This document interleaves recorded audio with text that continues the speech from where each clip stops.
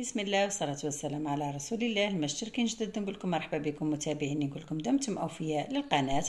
راح نحضروا اليوم مع بعض طاجين الزيتون المطلوب بكثرة في الأعراس وفي المناسبات الجزائرية. جبته لكم اليوم بطريقة مبسطة وراح نعطيكم جميع الأسرار والخطوات اللي لازم آه، تقوموا بها باش تحصلوا عليه كيما نتاع الأعراس. نحتاجو فيها كيلو زيتون أخضر. نغسلوه زوج مرات ولا ثلاث مرات. بعد ذلك نحطوه في طنجرة ونحطو عليه الماء كما راكم تشوفوا وراح نضيفو عليه ملعقة صغيرة خميرة الحلوى. ونضيفو عليه كذلك اثنين ملاعق أكل كبار فرينه هذو المكونين واش راح يديروا لنا في الزيتون؟ راح ينقصوا الملح يعني يمتص الفرينه راح تمتص الملح. والخميرة راح تساعدو إنه يطيب ثمثم. نخلطوا هذو المكونات مع بعض ونخلوه عشر دقائق. يتشربوا مليح الملح وكما قلت لكم الخميرة تدخل في الزيتون. بعد ذلك نروحوا نحضروا لاصوص نحتاجوا فيها ملعقة آه، كبيرة زبدة أو مارغرين. ونضيفوا كذلك ثلاث ملاعق أكل زيت وقطعة من الدجاج أو لحم وش عندكم؟ حبة بصل متوسطة مع ثلاثة فصوص ثوم نرحيهم في الخلاط الكهربائي ونضيفوه.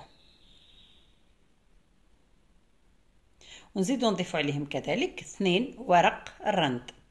وفي البهارات نحتاجو القليل من الملح ما تكثروش هنا راهي نصف ملعقة صغيرة. نضيف كذلك بهارات خاصة بالمرق الأبيض نصف ملعقة صغيرة كذلك. نضيف آه، نصف ملعقة صغيرة زنجبيل. ونزيدو لها كذلك ملعقة صغيرة نتاع كزبر وكروية ونصف ملعقة صغيرة كركم ونصف ملعقة صغيرة زعفران ونضيف كذلك ملعقة صغيرة موطارد نحطو الطنجرة على نار خفيفة ونخلوها تتقلى على مهل. بالتقريب عشر دقائق. وانتوما مخلينها تتقلى على نار خفيفة وتحركوها ساعة لساعة وفي الأخير خلاص راح نضيفوا لها ماء. ماذا بكم يكون؟ ساخن.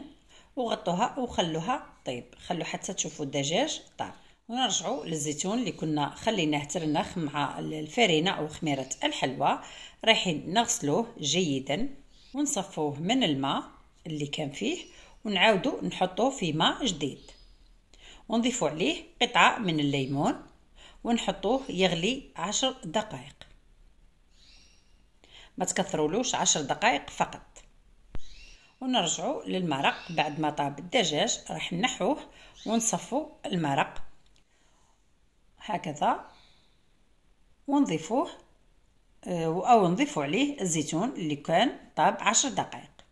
رجعوه على نار خفيفة مدة نتاع خمس دقائق ونطفوا هذا شكله بعد ما طاب. شوفوا كيفاه يعود اللمعة نتاعو يعني يحافظ على اللون نتاعو يقعد أصفر. بعد ذلك أنا راح نرافق معاه roulé آه، محشي بالجبن تقدروا تستغنوا عليه وتقدروا تكملوا بهذه المرحلة. يعني مرقة الزيتون راهي حاضرة بهذه الطريقة. أنا راح نزيد نضيف عليها roulé. نحتاج في هذا ال roulé قليل من صدر دجاج حبة بصل صغيرة اثنين فصوص ثوم وحبة بيض واثنين ملاعق أكل آه، la chapelure. ونفس البهارات اللي ضفتوهم في المرق نعاودو نضيفوهم في آه، هذا الخليط مع آه، كمون أخضر. ونضيفوا لهم كذلك ست حبات زيتون أخضر وشوية معدنوس.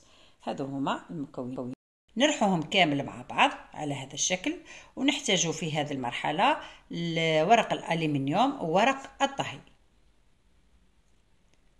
راح نحط ورق الالومنيوم هو اللي في الأسفل وفوقه ورق الطهي ونحطو كمية من الحشو أو الدجاج بالتقريب 2 إلى 3 ملاعق أكل ونحاولوا نشكلوا مربع بعد ذلك نحتاج جبن أنا راح نستعمل شاف بذوق الثوم نقسموه على ثلاثة. الصورة راهي موضحة يعني فقط تبعوا الخطوات. ونحطوا الجبن على هذا الشكل نحطوه في الوسط.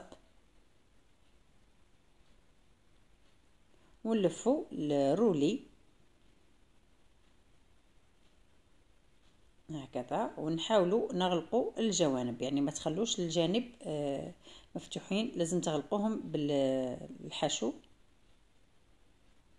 ونكملوا نلفوا البوده هكذا. وإذا حبيتوا ديروا فيونداشي أو لحم مرحي تقدروا ديروا زوج طبقات يعني طبقة آه، دجاج وطبقة ثانية في ورقة أخرى آه، لحم مرحي ومن بعد حطوهم فوق بعضهم وحطوا الجبن في الوسط. ونلفوا عادي بهذه الطريقة.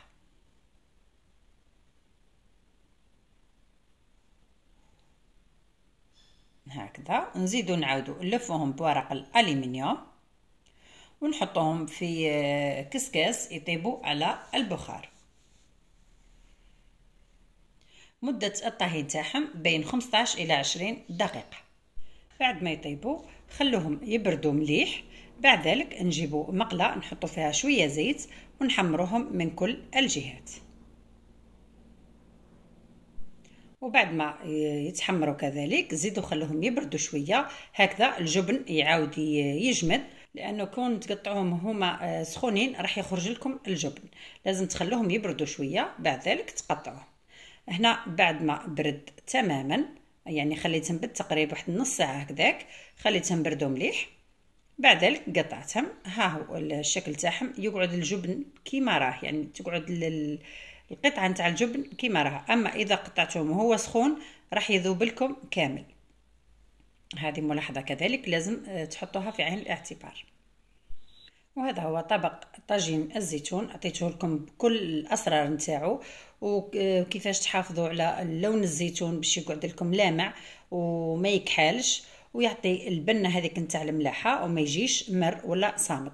هذه هي وصفتنا لنهار اليوم. نتمنى نكون فتكم ولو بالقليل. ما بقى لي غير نقول لكم لا تبخلوا علينا بالإعجاب والاشتراك في القناة وفعلوا الجرس ليصلكم كل جديد وبرتاجوا لتعم الفائدة. والسلام عليكم.